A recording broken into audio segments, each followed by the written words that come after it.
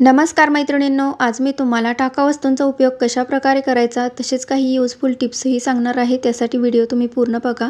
येथे हा माझ्याकडील तारेचा बेल्ट आहे हा टाकून न देता त्याचा आपण पुनर्वापर करणार आहोत. त्यासाठी येथे मी अशा प्रकारची एक नॉड घेतलेली आहे. आता या नॉडचा आपण बेल्टसाठी कशा प्रकारे वापर करायचा आहे ते बघूया. येथे या नॉडमध्ये हा बेल्ट या पद्धतीने घालून घ्यायचा आहे. अशा प्रकारे तुम्ही हा तारेचा बेल्ट टाकून न देता त्याचा असा वापर नक्की करू शकता. अशा प्रकारे वेगवेगळ्या कलरच्या डिझाईनच्या नॉड तुमच्याकडे असतील तर त्याचा उपयोग तुम्ही या पद्धतीने करू शकता. अशा प्रकारे ही नॉड बेल्टला घातल्यामुळे बेल्टचा लुक किती बदललेला आहे ते बघा. याला तुम्ही वरच्या बाजूला फ्लावर्सही लावू शकता. तुम्हाला जसे डेकोरेट करायला आवडते तसे तुम्ही इथे हा बेल्ट डेकोरेट करू शकता. अशा प्रकारे तुम्ही हा बेल्ट टाकून न देता त्याचा असा वापर नक्की करून बघा. आता आपण तेलाच्या बॉटलसाठीची एक टीप बघणार आहोत अशा प्रकारच्या या तेलाच्या बॉटलमधून ज्यावेळेस आपण तेल घेतो त्यावेळेस ते तेल खाली सांडलं जातं आणि त्यामुळे फरशी खराब होते. अशा वेळेस आपण इथे कुठली ट्रिक करायची आहे जेणेकरून तेल खाली सांडणार नाही आणि फरशीही खराब होणार नाही? येथे मी एक अशा प्रकारचा हे रबर घेतलेला आहे. हा रबर आपण या पद्धतीने बॉटलच्या वरच्या बाजूला लावून घ्यायचा आहे. आता इथे तुम्ही बघू शकता ज्यावेळेस आपण बॉटलमधून अशा प्रकारे तेल घेऊ त्यावेळेस ते तेल खाली सांडले तरी या रबरमध्ये अडकेल आणि त्यामुळे फरशी खराब होणार नाही. अशी ही खूपच साधी सिंपल असलेली ही ट्रिक तुम्ही नक्की ट्राय करून बघा. आता इथे माझ्याकडे एका औषधाची अशी संपलेली बॉटल आहे. या बॉटलचा आपण कशा प्रकारे वापर करायचा आहे ते बघायचं आहे. अशा प्रकारच्या या छोट्या बॉटल टाकून न देता त्याचा काय वापर करायचा आहे ते बघूया. येथे मी एक्रेलिक कलर घेतलेला आहे. येथे मी ब्लॅक कलर घेतलेला आहे. हा ब्लॅक कलर आपण बॉटलच्या बाहेरच्या बाजूला या पद्धतीने लावून घ्यायचा आहे. येथे तुम्हाला जो कलर आवडतो तो कलर येथे तुम्ही लावू शकता. अशा पद्धतीने पूर्णपणे ब्लॅक कलर करून घेतलेला आहे. आता हा कलर सुकून द्यायचा आहे. कलर सुकलेला आहे. कलर सुकल्यानंतर आता आपल्याला याच्यावरती डिझाईन करायची आहे. येथे मी बॉटलवरती डिझाईन करण्यासाठी थ्री डी आउटलायनर घेतलेला आहे. याच्या मदतीने आपण या बॉटलवरती डिझाईन करायची आहे. तुम्हाला जशी डिझाईन आवडते तशी डिझाईन याच्यावरती तुम्ही करू शकता. या पद्धतीने मला जशी डिझाईन आवडते तशी डिझाईन या बॉटलवरती मी करून घेत आहे. अगदी साधी सिंपल अशी डिझाईन आपण याच्यावरती करायची आहे. तुमच्याकडे जे कलर असतील ते कलर तुम्ही वापरू शकता. अशा पद्धतीने इथे मी या बॉटलवरती डिझाईन तयार करून घेतलेली आहे. अगदी साधी सिंपल डिझाईन करायची आहे. आता बॉटलच्या वरच्या बाजूला आपण या पद्धतीने डॉटची डिझाईन करून घ्यायची आहे. अशा प्रकारे बॉटलवरती आपण सिंपल अशी डिझाईन करून घेतलेली आहे. आता या बॉटलचा कलर सुकवून द्यायचा आहे. कलर सुकल्यानंतर आपण या बॉटलचा कशा प्रकारे वापर करायचा आहे ते बघायचं आहे. या बॉटलचा इथे मी अशा प्रकारे आर्टिफिशियल फ्लावर ठेवण्यासाठी किंवा फ्लावर पॉटसारखा वापर करणार आहे. तुम्ही बघू शकता किती छान दिसत आहे. अगदी छोटासा असा फ्लावर पॉट इथे आपण तयार करून घेतलेला आहे. तुम्हीही अशा प्रकारच्या या छोट्याशा बॉटल टाकून न देता त्याचा असा वापर नक्की करून बघा. आता आपण जुन्या झालेल्या सॉक्सचा कशा प्रकारे वापर करायचा आहे ते बघायचं आहे. अशा प्रकारचे जुने झालेले सॉक्स टाकून न देता ते कशा प्रकारे पुनर्वापरात आणायचे ते बघूया. येथे मी छत्री घेतलेली आहे. छत्री आपण व्यवस्थितपणे सेट करून घेऊया. या पद्धतीने ती व्यवस्थित लावून घेऊया. आता त्याचे बटनही आपण व्यवस्थित पॅक करून घेऊया. आता ही छत्री आपण व्यवस्थित सेट करून घेतलेली आहे.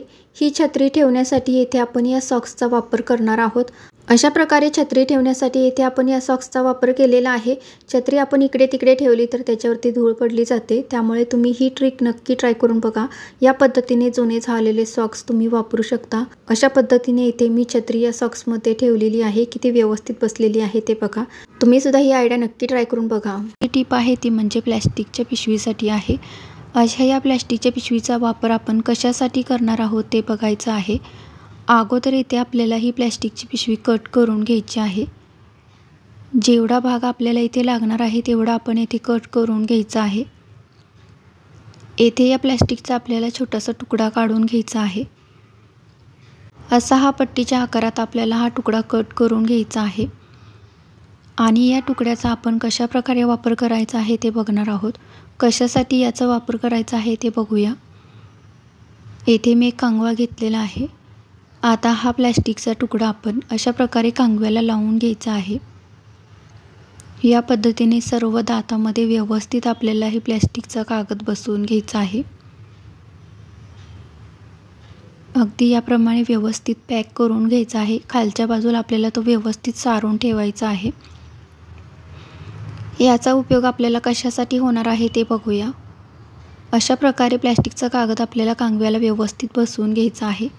याचा उपयोग आपल्याला कसा होणार आहे ते बघूया. ज्यावेळेस या कांगव्याने आपण केस विंचरणार आहोत त्यावेळेस सर्व केस याच्यामध्ये अडकतील किंवा कोंडा काही असेल तर तोही याच्यामध्येच अडकून राहील. आता येथे तुम्ही बघू शकता येथे मी केस विंचरलेले आहेत. याच्यामध्ये केस अडकलेले तुम्ही बघू शकता. ज्यावेळेस केसामधील कोंडा किंवा केस गळतात त्यावेळेस ते अशा प्रकारे प्लॅस्टिकच्या कागदावरती राहतात आणि अशा प्रकारे आपण तो प्लॅस्टिकचा कागद काढून ते टाकून देऊ शकतो. असं केल्यामुळे कांगवाही खराब होत नाही आणि केसही अगदी व्यवस्थित आपल्याला बाजूला काढता येतात. त्यामुळे कांगव्याची ही ट्रिक तुम्ही नक्की ट्राय करून बघा. येथे तुम्ही बघू शकता अशा प्रकारे हा कांगवासुद्धा खूप स्वच्छ राहतो. अशा प्रकारची तेलकट झालेली कढई कशा प्रकारे स्वच्छ करायची ते बघायचं आहे. येथे मी ही कढई स्वच्छ करण्यासाठी गव्हाचे पीठ घेतलेले आहे. तुम्ही दुसरे कुठलेही पीठ घेऊ शकता. आता हे पीठ आपण या तेलकट कढईमध्ये अशा पद्धतीने घालून घ्यायचं आहे. पिठामुळे तेलकटपणा पटकन निघतो. त्यामुळे ज्यावेळेस अशा प्रकारची तेलकट भांडी असतील त्यावेळेस ती अशा प्रकारे पिठाने तुम्ही स्वच्छ करून घ्या. खूप छान स्वच्छ होतात. अशा प्रकारे हे पीठ आपण कढईच्या सर्व बाजूला व्यवस्थित पसरून घालायचं आहे. या पद्धतीने पीठ घालून झाल्यानंतर आता हे पीठ आपण दोन ते तीन मिनटासाठी असेच ठेवायचं आहे जेणेकरून तेल त्याच्यामध्ये शोषलं जाईल. आता तीन मिनिट झालेले आहेत.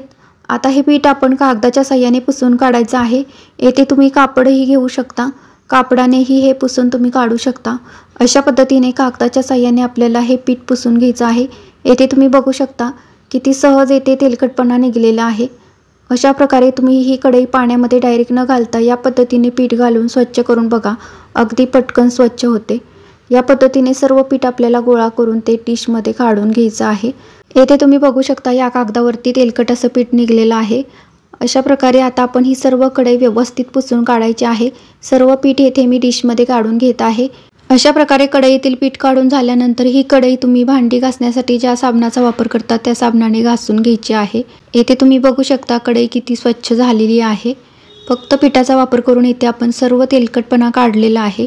आता ही कढई स्वच्छ घासून धुवून घ्यायची आहे. ही ट्रिक तुम्ही नक्की ट्राय करून बघा. ही टीप आहे ती म्हणजे अशा प्रकारच्या या जुन्या झालेल्या टॉवेलसाठी आहे. येथे तुम्ही बघू शकता हा टॉवेल अशा प्रकारे थोडा थोडा खराब झालेला आहे. या टॉवेलचा आपण कशा प्रकारे वापर करायचा आहे ते बघायचं आहे.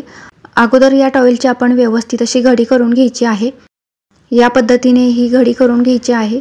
आता हा टॉवेल आपण कशा प्रकारे वापरायचा आहे ते बघूया.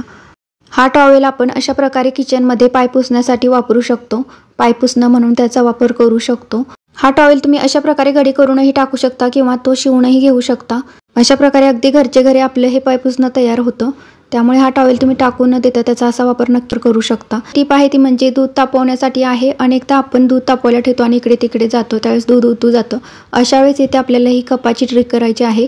ज्यावेळेस दूध वरती येतं त्यावेळेस आपण अशा प्रकारे दुधामध्ये कप घालायचा आहे. येथे तुम्ही बघू शकता हा कप घालताच दूध पूर्णपणे खाली गेलेला आहे. त्यामुळे ही ट्रिक तुम्ही नक्की ट्राय करून बघा.